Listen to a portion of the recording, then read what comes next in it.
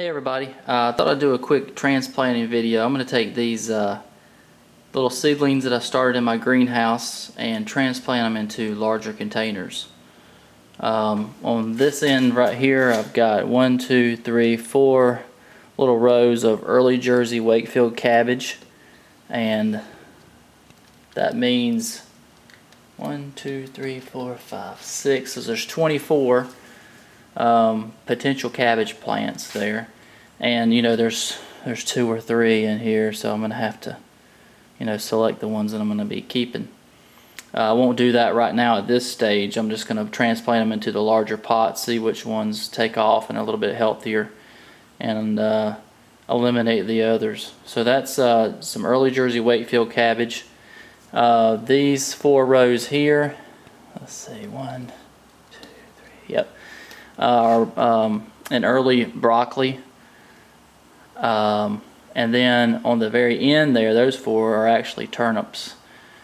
Um, and I wanted to try, you know, to start the turnips from seed uh, this year. I've never grown turnips before, so we'll see how that goes. And I know it's uh, probably best to just start these out in the garden from seed. But anyway, going to try to do some transplanting. And what I'm going to be doing is putting these into these larger pots. Now I got these pots um, from Lowe's. Um, if you go to your local Lowe's, they usually have a cart setting somewhere in the garden center outside that has empty pots on it. And these are totally free. These are um, containers that you can reuse um, instead of having to buy them. You can see this used to have a begonia in it. So what I try to do is I try to get decent sized pots because uh, I'm going to put these in there, leave them in there for a couple weeks so they have a lot of room to spread out.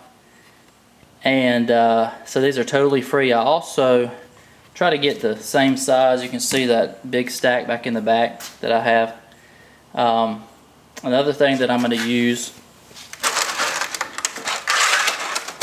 instead of having them spread out all over the place, I keep them in these little segregated compartments, uh, little containers. I can carry them around pretty easy. And when, it's pretty convenient when you when it's time to transplant them into the garden, you just carry these out there. And you, of course you reuse these too. Uh, one thing that I would do if you get the free pots is make sure you rinse them out really good.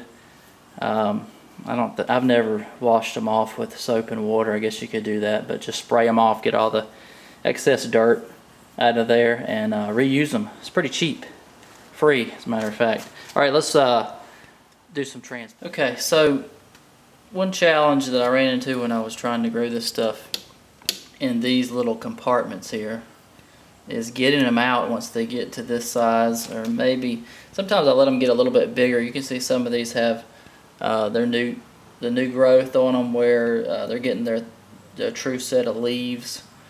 Um, so sometimes I'll let them get a little bit bigger, but I have the time now, so I'm going to go ahead and transplant these into these larger containers. Now as far as this soil, you can use uh, any type of potting soil. Uh, this is some that I got from Lowe's. It's the cheapest they had. And I had some extra perlite, so I just added it um, to this soil. Uh, this doesn't have any fertilizer in it. Uh, it does have, I think it does have a little bit of compost, but nothing, uh, you know, fancy.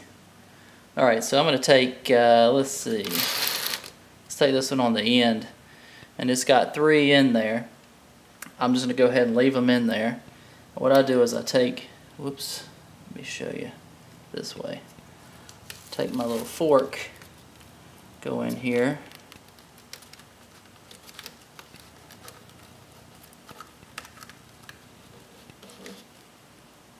can see some of the roots. Take them and set them in my little pot. Cover them up. I might add a little bit more dirt to the top there just to vary them a little bit more.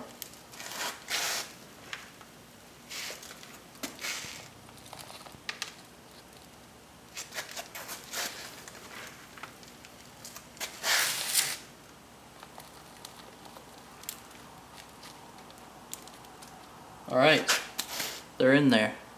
And they'll do just fine in this pot for, you know, three, four more weeks till it's time for me to put them out.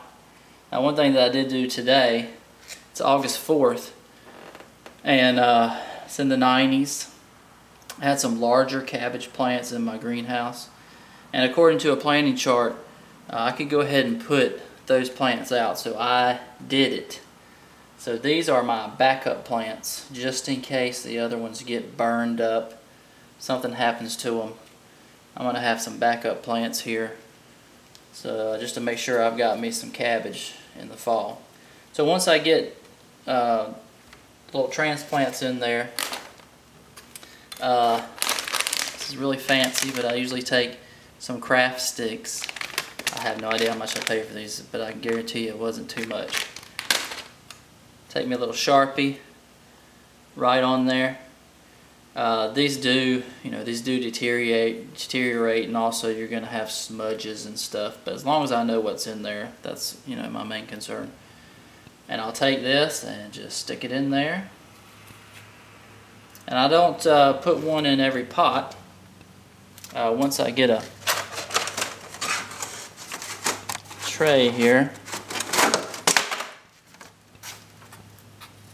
have a tray full, just set it in there and you know your whole tray is full of Jersey cabbage. So that's what I'm going to be doing. I'll have, uh, you know, I have eight in here, so that's a pretty good start. And I'll go ahead and fill up the other ones. I'll show you what it looks like when I get done. Alright y'all, this is what we got.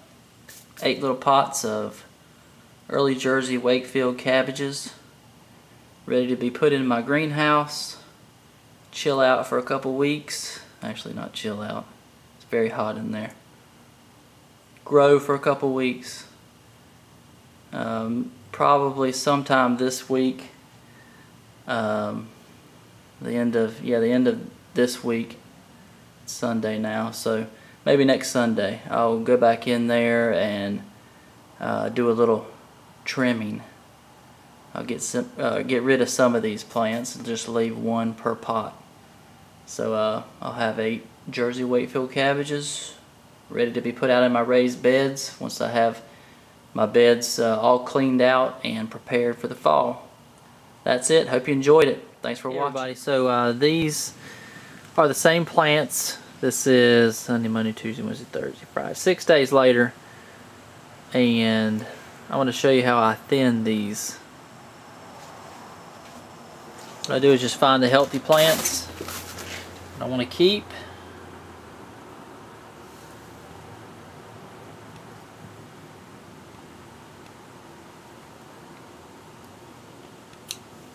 That's it. Just come in here and trim these. The roots to these other plants will die and you'll have one plant per pot. So that's all I'm going to do. Pretty easy. This one back here, I like that one the best. A little bit of non-invasive surgery and I'll have eight broccoli plants, wait, eight uh, cabbage plants, eight broccoli plants when I'm finished. Thanks for watching.